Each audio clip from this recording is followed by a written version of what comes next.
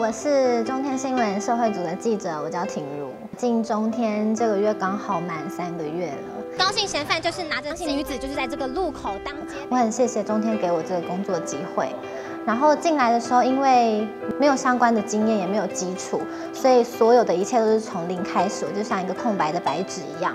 我的长官都告诉我，我现在不用担心好不好，但是至少所有的新闻要正确，要求证。